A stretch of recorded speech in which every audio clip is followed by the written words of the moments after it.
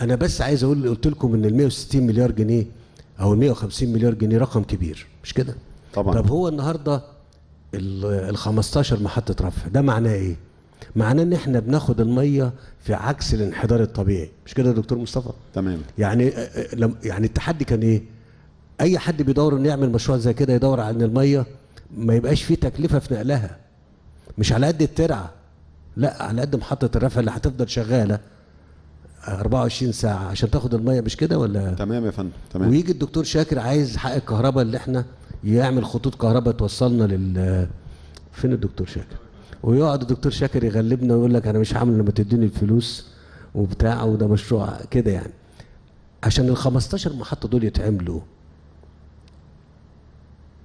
إحنا قعدنا مع الشركات اللي بتجيب الطرمبات عشان نفصل معاهم في تمن حاجتنا. في تمن إيه يا ايهاب في ثمن الطرمبات تمن حاجتنا اللي بنجيبها لبلدنا عشان ناخد أحسن حاجة بأحسن سعر.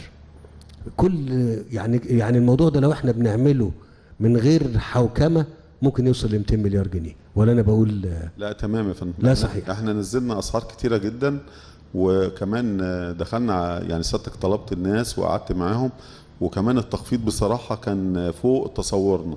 المبلغ قل بطريقة إحنا مش بنتكلم هنا أنا بتكلم إن إحنا يا مصريين شوفوا الحاجة بتتعمل إزاي. المواسير اللي أنتوا بتشوفوها دي بنفاصل مع الناس وبنقلل التكلفة عشان المشروع بالإجمال يبقى تتخفض المقاولة كلها تتخفض. المنتج اللي بيتجاب العمل اللي بيتعمل على الأرض المحطات الترمبات اللي بتترفع شبكة الكهرباء اللي بتت والمحاولات اللي بتخش هنا. عمل كبير قوي قوي فوق يعني فوق الخيال والله. وأنا مش إيهاب هيشرح بطريقة وهتوصل لكم يعني. لكن أنا عايز أخليكم تفرحوا بقدراتكم تفرحوا باللي بيتعمل. اللي بيتعمل ده والله العظيم حلم وكرم كبير قوي من ربنا علينا عشان نعمله. مش كده يا إيهاب؟ تمام يا فندم. بقى إن إحنا نزرعه. بقى إن إحنا إيه؟ نزرع. نزرع بقى اتفضل.